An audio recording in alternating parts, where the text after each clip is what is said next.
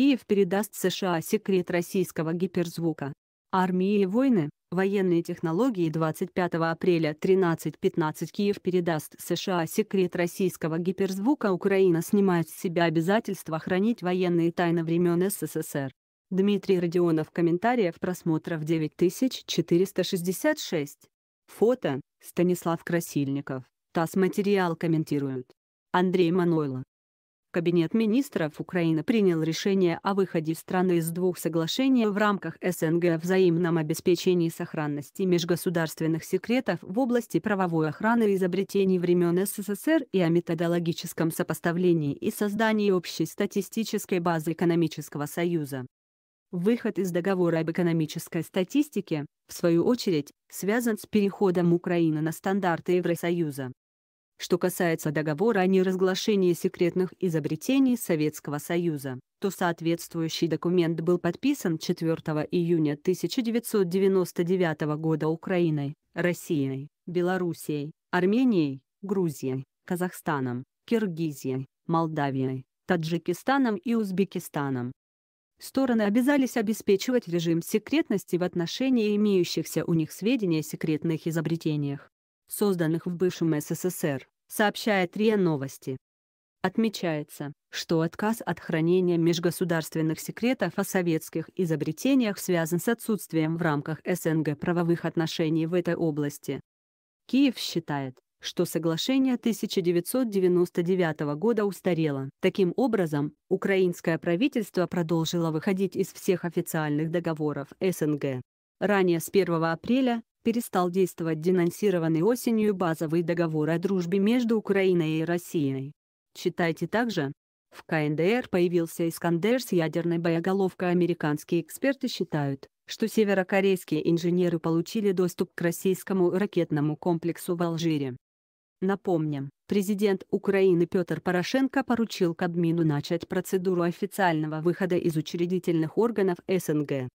По его словам, Киев внимательно посмотрит все международные договоры, заключенные в рамках СНГ, и выйдет из тех, в которых найдет хотя бы малейшее несоответствие национальным интересам. В августе 2018 года представительство Украины при уставных органах СНГ было закрыто. В настоящий момент все контакты по линии Содружества осуществляются через украинское посольство в Минске. С начала 2019 года Украина прекратила свое участие в почти 10 договорах Содружества, в том числе в соглашении, регламентирующем отношения в оборонной сфере. Кроме того, страна вышла из состава координационных органов СНГ. Напомним, в прошлом году разразился скандал, связанный с поставками ракетных технологий в Северную Корею. Тогда американская газета The New York Times в статье «Северокорейский ракетный успех связан с украинским заводом» предположила, что достижения КНДР в испытании межконтинентальной баллистической ракеты могут быть связаны с приобретением двигателей украинского завода «Южмаш», имеющего исторические связи с российской ракетной программой. Во времена Холодной войны Днепропетровский завод производил достаточно широкую номенклатуру, в том числе военной продукции, например, двигатели для самых мощных в советском арсенале ракет Р-36М по классификации НАТО. СС-18 Satan. После распада СССР Южмаш оставался одним из основных производителей ракетных комплексов для России которая продолжала получать украинские детали и комплектующие для своих стратегических комплексов до 2014 года. Американская газета упоминала, в частности, двигатели РД-250, которые могли попасть в КНДР. Эти двигатели, хоть и были разработаны на российском энергомаше, до 2001 года выпускались на украинском заводе в правительстве Украины статью The New York Times раскритиковали и назвали провокацией. Тем не менее, президент Петр Порошенко поручил секретарю Совета национальной безопасности и обороны Александру Турчинову, руководителям Южмаша и представителям комиссии по экспортному контролю расследовать информацию о возможных поставках двигателей в КНДР. О результатах расследования ничего не известно. При этом американцы отнеслись к сообщениям достаточно серьезно. Стоит отметить, что Украина ранее неоднократно обвинялась в поставках оружия, в том числе террористическим группировкам на Ближнем Востоке. Легальная же распродажа советского наследия, в том числе авианосцев Китаю шла полным ходом с начала 90-х. Что же получается, что теперь Киев имеет возможность совершенно легально распространять советские военные разработки? Понятно, что не в КНДР, это запрещено всем по решению ООН, но есть и другие желающие. Например, те же американцы, которые хотели бы получить такие разработки для того, чтобы догнать Россию там, где они отстали. Украина принимает решение о денонсации документов, регулирующих отношения с РФ и СНГ пачками, напоминает обозреватель ИА Newsfront, военный эксперт Юрий Селиванов. Нельзя исключать, что в одном из таких пакетов оказалось и это. Они полностью обнуляют договорную базу этих отношений. Начиная с Большого договора, уничтожая тем самым основу для нормализации отношений и усиливая уровень конфликтности. Что полностью отвечает основной цели существования антирусского проекта Украина. СП. Если изобретения были засекречены, то, видимо, какие-то из них касались военных технологий. Что это может быть? Документация по баллистическим ракетам на Южмаше. Что еще?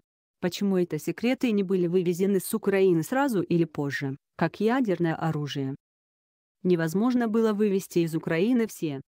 Ядерные боеголовки вывозились согласно международным соглашениям о безъядерном статусе постсоветских республик. Все остальное осталось в собственности Украины. Да и как можно вывести документацию, которую могли просто скопировать? Наверняка, речь идет главным образом о военных технологиях. Украинские сенокосилки Америку вряд ли могут заинтересовать. А военные разработки в СССР были настолько передовыми, что их инновационный потенциал не исчерпан и по сей день. Пример. Советский палубный истребитель Як-141 30-летней давности сегодня является предметом гордости американских военно-морских сил под обозначением F-35B. Американская фирма Lockheed Martin купила пакет документов этого самолета после развала СССР. Кстати, купила в РФ. Что касается Украины, то если там хорошо помести по сусекам, то можно еще много чего накопать. Например, в Одессе была военная КБ «Айстон», которая разработала уникальную технологию модернизации артиллерийских боеприпасов под управляемые снаряды с мгновенно изменяемым вектором движения. На тот момент, 2010 год, аналогов в мире не было. СП. В прошлом году был скандал, связанный с продажей ракетных технологий с в КНДР. Действие договора не помешало Киеву навариться на секретах. А до этого, в 90-е, Китаю продавали советские разработки. Что изменится теперь? Будут продавать в открытую. Увеличится масштаб? Не думаю, что масштаб существенно увеличится. Сливки с этой темы давно сняты. Правда, занимались этим местные правящие хапуги с ниже средним образованием. Допускаю, что если этих займутся американские спецы, результат может быть существенным. Недаром же в состав правления Укроборонпрома в прошлом году был включен бывший директор американского агентства DAPA, отвечающего за разработку принципиально новых военных технологий в США. Не исключаю, что именно под него и было принято решение о денонсации соглашения об охране секретов. Особенно это интересно американцам потому, что они существенно отстали от РФ в некоторых ключевых сферах разработки оружия и наверняка хотели бы сократить это отставание путем раскопок в украинских архивах и покупки соответствующих знаний. СП, то есть американцы могут воспользоваться нашими технологиями, к примеру, теми, которые позволят им догнать Россию в некоторых технологиях, в частности, гиперзвука. Какими-то технологиями, если они их найдут, типа вышеуказанной технологии управляемых артснарядов, наверняка да. Что касается гиперзвука, тоже да.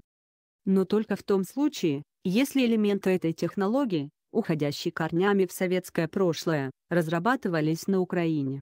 СП какие еще страны могут заинтересоваться, и насколько это невыгодно для России. Заинтересоваться могут многие. Например, Китай. Но США жестко держит Киев на коротком поводке. И не позволит торговать, чем и куда попало. Возможные потери и проблемы РФ из-за данного решения Украины вряд ли будут значительными. Они это секреты начали продавать с первого дня своей незалежности. Например, Украина открыла для США сверхсекретный комплекс военной спутниковой разведки под Одессой еще в 1992 году. Хотя, конечно, все зависит от того, насколько критичными для уязвимости современных российских боевых систем окажутся отдельные американские находки на Украине. Но в целом драматизировать эту ситуацию я бы не стал. Украина торгует своим военным наследством уже 30 лет, но пока ничего сверхъестественного на гора не выдала. Ну, разве что, вооружила Китай авианосцами.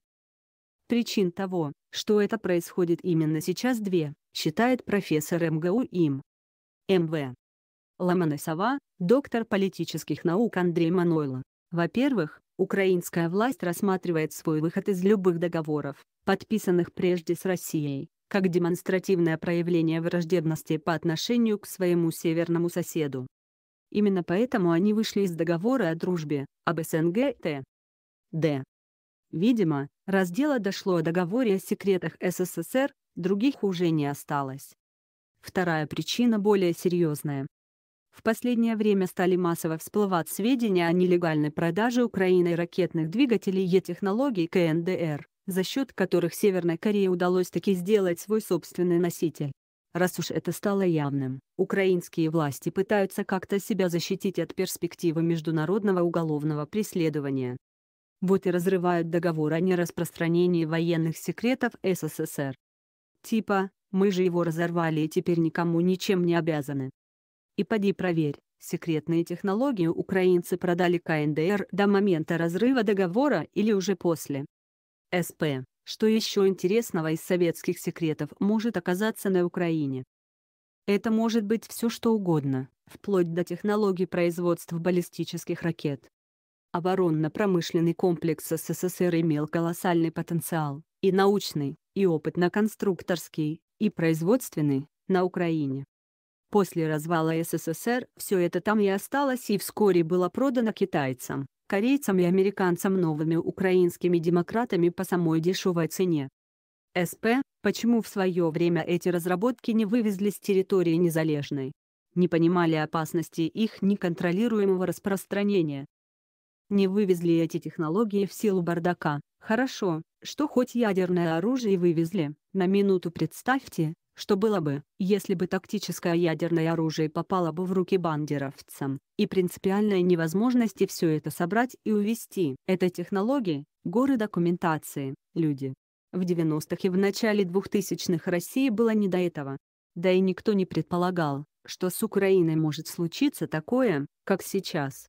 СП. Что изменится теперь? Увеличится масштаб явления?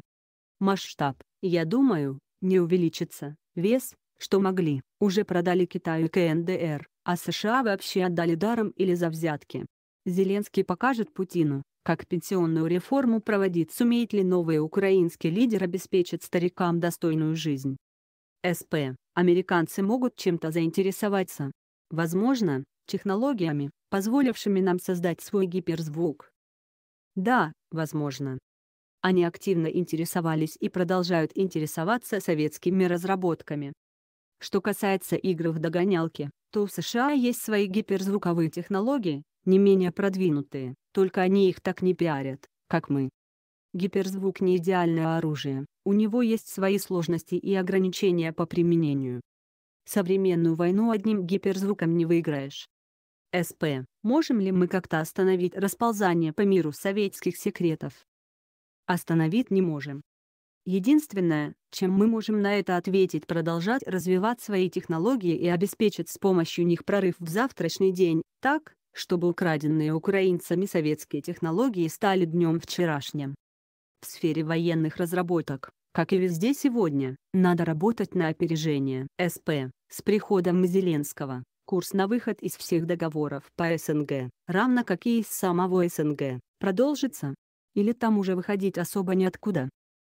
Там отовсюду уже вышли. Но даже если какой-то договор забыли, Зеленский, скорее всего, будет делать то же самое. То есть в принципиальном ключе ничего не изменится. Новости Украины. В штабе Зеленского заверили, что он не станет раздавать землю и граждан. Кризис на Украине. Венгрия предложила Польше разделить Украину.